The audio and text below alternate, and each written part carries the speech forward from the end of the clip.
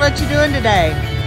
We're delivering some goods. Thank you, Collin County Association of Realtors, also up here in Valley View.